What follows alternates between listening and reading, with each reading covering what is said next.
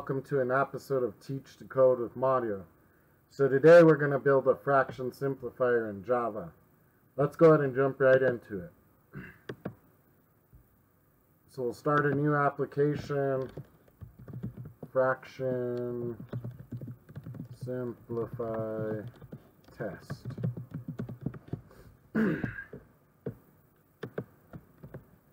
Alright, I'm going to fix some of my curly braces, erase some of this, comments.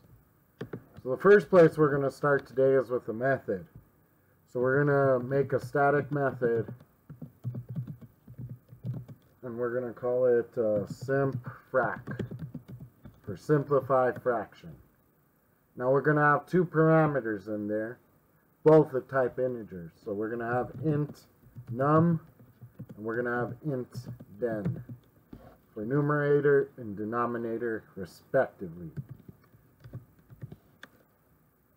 So we are going to need one variable for storage. We're going to use, we're going to call it divisor as that will be the number we are dividing by. Alright. Next, what I want to do is actually print the fraction out. So, fraction before simplified.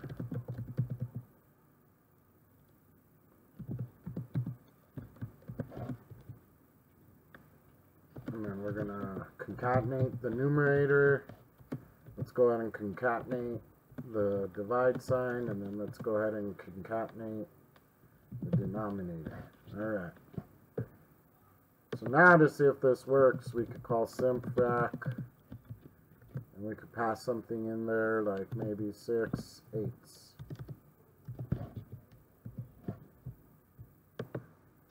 Oh no, I hit build on accident. Okay, so we got 6 eighths. Awesome. That's all we wanted. So this method right now is printing it out. So next step that we're going to do is we're going to have to start looping.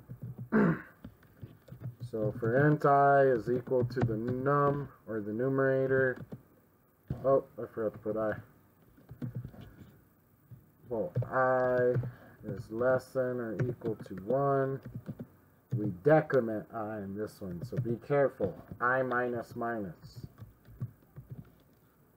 Now what we're going to do here is we're going to actually use the modulus. So if num mod i equals equals 0. So if there's no remainder when we mod num and i and then mod i also gives us no remainder. Then we want to set the divisor to i. And then we're going to break out of this. So it's a little bit of a tricky loop, but I know if you kind of go with the pseudocode and write it on a board, you can kind of figure this out so after the for loop, what we're going to do is we're going to do an if real quick. We got to do a check. So if divisor is not equal to 0,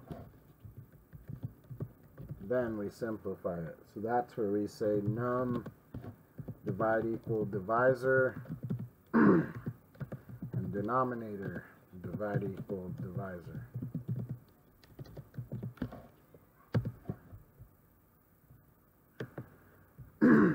Now what we have to do is we have to actually print this statement out again. Well, not the actual statement, right? But we want to print out the variables. There's a little bit of logic we have to change here. So, in fact, all we have to change to, for it to be logical is after, right? This is after it simplifies. So let's see what we got. 6 eighths turns to 3 fourths. Awesome. Now, if we run this multiple times, like simfrac, um, I don't know. Let's do something that doesn't simplify, like 7 eighths. Or 7 ninths, right? 7 ninths doesn't simplify. What if we have um, an improper fraction, you say? Ah, like 10 fourths. Well, let's see what happens there. And let's try what happens with bigger numbers so I can convince you that it's not just um, doing some trickery. So let's say one 120 over a thousand. so let's go ahead and run these. So I don't like how these fractions are touching real quick, so let's go ahead and do something. We're just going to come here and concatenate um, a new line. Beautiful. So now we're separate. You see that? Alright. so the first one we put in was 6 eighths. We got 3 fourths, right? They divided by 2. 2 divided by 6 is 3. 2 divided by 8. I mean, yeah, it's 4. And then here we divided by 1, which we got the same fraction. or the loop actually stopped, right? Now here we had 10 fourths, so no matter what, even if it's improper, this algorithm is going to solve it for you. 10 fourths becomes 5 halves. So they divided both by what? 2, right? Now here, this one's a little bit trickier. if we knock off a 0, they must have divided by 40, right? 4, 8, 12. Yeah. And if you divide this by 4, you get 25. Yeah, so they divided by 40 essentially on this one. So even with bigger fractions, it's still coming out. so I hope you guys enjoyed this tutorial. I hope it makes a lot of sense. I was looking for a lot of codes online, and they just seemed really, really complicated, you know.